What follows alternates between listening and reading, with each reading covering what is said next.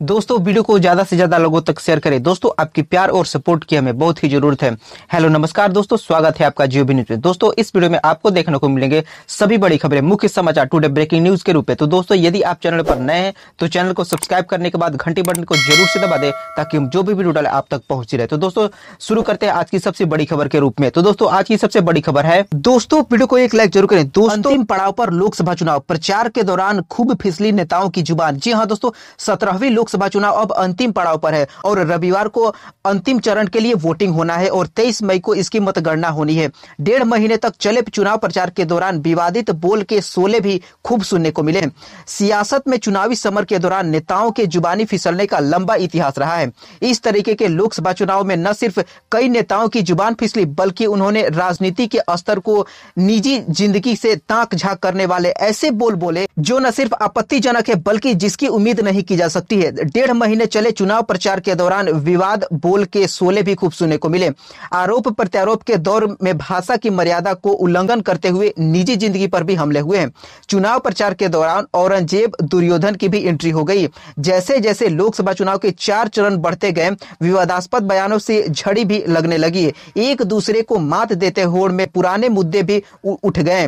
कांग्रेस नेता सैम पित्रोदा ने उन्नीस सौ चौरासी के सिख दंगों को लेकर के राग छड़िया। तो प्रधानमंत्री मोदी कांग्रेस को उनके पुराने पापों को याद दिलाने लगे, राजीव गांधी भी की टिप्पणी कर डाली। सबसे ज़्यादा खून खराबा बंगाल की धरती पर देखने को मिला, जहाँ बंगाल की खाड़ी से निकला सियासी तूफ़ान बवंडर में तब्दील होकर के कोलकाता से लेकर के दिल्ली तक सियासत की बुनियादी हिला डाली। कोलकाता में अमित शाह के रोड शो में भड़की हिंसा से ममता और मोदी के बीच जंग की दीवार खड़ी हो गई।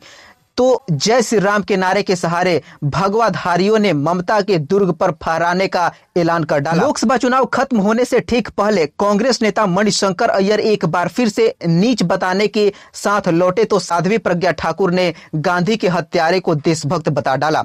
सपा के कद्दावर नेता आज़म खान ने जया प्रताप पर आपत्तिजनक टिप्पणी भी कर दी। सियासत में भाषा का अपना एक अलग महत्व होता है, लेकिन जिस तरीके से आज के दौर में चुनाव प्रचार के दौरान भाषा का स्तर गिर गया है वह स्वस्थ लोकतंत्र के लिए कतई सही नहीं है। जी हाँ दोस्तों, अगली बड़ी खबर है। फेसबुक लाया है एक और शानदार फीचर अब यूज़र कर सकेंगे ऐसे काम। जी हाँ दोस्तों, अपने प्लेटफॉर्म पर लोगों को उनकी सार्वजनिक रूप से देखने वाली जानकारी को आसानी से व्यवस्थित करने के लिए फेसबुक अपना व्यू एज पब्लिक फीचर दोबारा ला रहा है।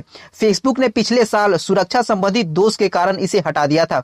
यूज़र इस फीचर की मदद से अपनी प्रोफ़ाइल में ऐसे यूज़र्स की नज़र को देख सकेंगे जो प्लेटफॉर्म पर उनके फ्रेंड नहीं है। जी हाँ दोस्तों द व्यूज़ की रिपोर्ट के अनुसार इसकी सहायता से यूज़र को यह तय करने का भी सहायता मिलेगी कि उनके प्रोफ़ाइल में उनकी कौन सी जानकारी सार्वजनिक रखनी चाहिए और कौन सी सार्वजनिक नहीं रखनी चाहिए। फेसबुक ने ट्वीट करके कहा है कि आज हम लोगों को फेसबुक पर उनकी प्रोफ़ाइल दूसरे दोस्त को दिखाने के लिए सिर्फ़ दो चरण में व्यवस्थित करना आसान कर रहे हैं। जी हाँ दोस्तों, पहला चरण है कि हम व्यूज़ एज पब्लिक फीचर को वापस ला रहे हैं और दूसरा कारण है कि हम सीधे प्रोफ़ाइल पर उनकी एडिट पब्लिक डिटेल बटन जोड़ रहे हैं।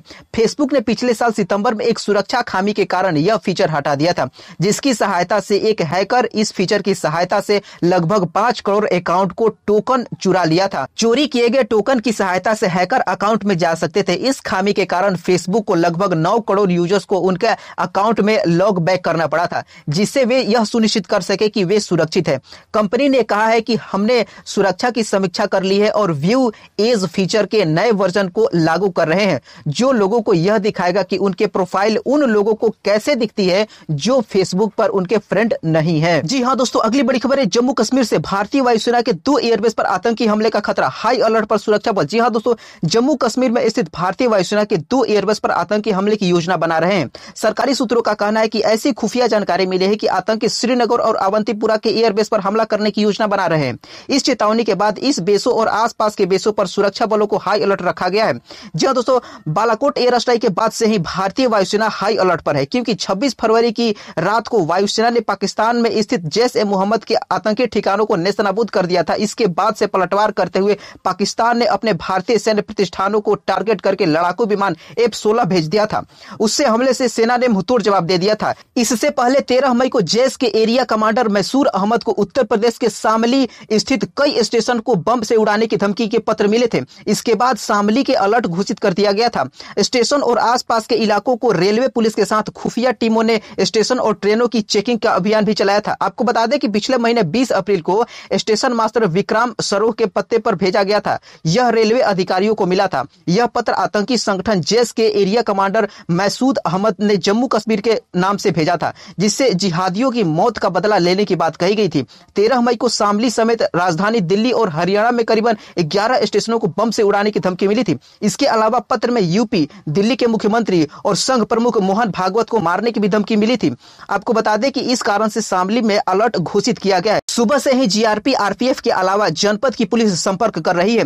कर्फ्यू की टीम भी शहर और स्टेशन पर लगातार घूमकर स्थिति का नज़र बनाए रखी है। रेलवे स्टेशन पर चप्पे चप्पे पर निगरानी रखी जा रही है। जी हाँ दोस्तों, अगली बड़ी खबर है। कमल हासन का एक और विवादित बयान। कहा, हर धर्म के पास अपने आतंकवादी होते हैं। जी हाँ दोस्तों, महात्मा गांधी के हत्यारे नाथूराम गोडसे के संदर्भ में दिए बयान, आज़ाद भारत का पहला चरमपंथी एक हिंदू था। पर विवादित बयानों में घिरे मयक्कम निधि मयम के संस्थापक कमल हासन ने एक और विवादित बयान दे दिया है। उन्होंने कहा है कि मुझे लगता है कि राजनीति की गुणवत्ता नीचे जा रही है। मुझे डर नहीं लगता। हर धर्म का अपना आतंकवादी होता है। हम दावा नहीं कर सकते कि वह पवित्र है। इतिहास गवाह है कि सभी धर्मों के अपने चरमपंथी है। जी हाँ दोस्तों, उन्होंने कहा है कि सच्चाई तीखी होती है और तीखापन औषधि का रूप ले सकती है और लोगों की रुग्णता सही कर सकती है। जी हाँ दोस्तों, उन्होंने अपने एक बयान की प्रक्रिया में कहा है कि फिल्मी दुनिया से राजनीति में उतरे हसन ने अपने विरोधियों के बस वैध आरोप लगाने हुए कहा है और पूछा है कि राजनीति में कदम रखने के बाद वह क्या समाज के बस एक ही तबके के बारे में बात करेंगे? जी हाँ दोस्तों, उन्होंने कहा है कि सच विजय होता है, न कि जाति और धर्म, तथा मैंने ऐतिहासिक सच कहा है। हसन ने कहा है कि चरमपंथी शब्द का मतलब समझिए मैं यानी कि गोडसे के खिलाफ आतंकवादी या हत्यारा शब्द का इस्तेमाल कर सकता हूँ। हम सक्रिय राजनीति में है, कोई हिंसा नहीं होगी। उन्होंने आरोप लगाया है कि उनके भाषण को चुनिंदा ढंग से संपादित किया गया है। उन्होंने यह कहते हुए विरोधियों पर सीधा निशाना साधा है कि उनके खिलाफ लगाए गए आरोपियों के लिए हमारे मीडिया दोस्त भी जिम्मेदार है। जी हाँ दोस्तों, वही एक जनसभा के दौरान दो अज्ञात लोगों ने उनके मंच पर कथित तौर पर अंडे और पत्थर फेंके, जिसके कारण तनाव व्याप्त हो गया है। इसी बीच कोयम्बटूर जिला पुलिस ने एक सुलू उपयोग के प्रचार करने वाले अभिनेता को अनुमति देने से इनकार कर दिया है। जी हाँ दोस्तों, अगली बड़ी खबर है। लोकसभा चुनाव 2019 में आखिरी रैली में प्रधानमंत्री की हुंकार। कहें फिर बनेगी मोदी सरकार। अब की बार 300 पार। जी हाँ दोस्तों, लोकसभा चुनाव 2019 की आखिरी रैली के संबोधित करते हुए प्रधानमंत्री नरेंद्र मोदी ने मध्य प्रदेश पहुँचे, जहाँ उन्होंने एक रैली को संबोधित किया। उन्होंने कहा है कि मैंने प्रचार की शुरुआत अमेठी से की थी और आखिरी रैली में खनगौर में कर रहा हूँ। प्रधानमंत्री मोदी यहाँ से इस बार पूरा देश कह रहा है फिर एक बार मोदी सरकार, अब की बार 300 सौ जी हाँ दोस्तों, प्रधानमंत्री मोदी ने कहा है कि अब देश चाहता है कि घर में घुस करके आतंकियों को मारा जाए। उन्होंने कहा है कि मुझे खुशी है कि देश राष्ट्रवाद की प्रेरणा अंत्योदय के दर्शन और सुशासन के मंत्र को लेकर के चल रही है। भाजपा के प्रति अपना विश्वास दिखा रहा है। मुझे संतोष है कि हमारे सपूतों को सम्मान में, शौर्य के सम्मान में पूरा देश खड़ा हो रहा है। उन्होंने कहा है कि कांग्रेस सैनिकों के विशेष अधिकार छीनने और देशद्रोह का कानून खत्म करने जैसे विषयों को लेकर के जनता जनता के बीच आई, जिसको देश ने ठुकरा दिया। देश इस बात पर एकमत है कि लोग जम्मू कश्मीर के लिए अलग प्रधानमंत्री के पैरवी कर रहे हैं। उन्होंने इस चुनाव में बड़े से बड़ी सजा दी है। जी हाँ दोस्तों, उन्होंने कहा है कि आदिवासियों के लिए कहा है कि जब तक मोदी है, बीजेपी है तब तक जंगल में रहने वालों के अधिकारों को, उनकी ज़मीन को कोई हाथ नहीं लगा पाएगा। प्रधानमंत्री मोदी ने कहा है कि एक झूठ चल रहा है। किसानों के खाते में जो पैसा जमा हो गया है, वो चुनाव के बाद वापस ले लिया जाएगा। लेकिन मैं वादा करता हूँ कि ये पैसा आपसे कोई नहीं छीनेगा। जी हाँ दोस्तों, कांग्रेस अध्यक्ष राहुल गांधी पर हमला बोलते हुए उन्होंने कहा है कि ये लोग विधानसभा चुनाव में गिनती गिनते हुए कह रहे हैं कि कर्ज माफ़ करेंगे। लेकिन अब 150 दिन हो गए, फिर भी कर्ज माफ़ी नहीं हुई। मोदी ने कहा कि ये लोग बिजली का बिल माफ़ कर रहे हैं, लेकिन इन्होंने बिजली ही हाफ़ कर दी।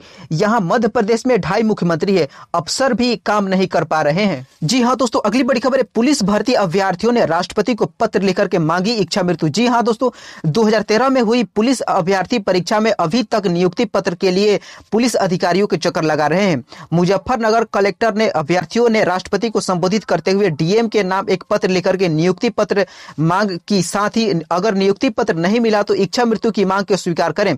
दरअसल 2013 में पुलिस आरक्षी भर्ती हुई थी, जिसमें से कुछ बच्चों को नियुक्ति पत्र मिले थे, जबकि ग्यारह अभ्यर्थियों आरक्षण को लेकर के हाईकोर्ट चले गए थे। इसके बाद कोर्ट ने अभ्यर्थियों के लिए शासन से नियुक्ति पत्र देने के लिए आदेश दिए थे, लेकिन आज इस अभ्यर्थियों के नियुक्ति पत्र नहीं मिला है।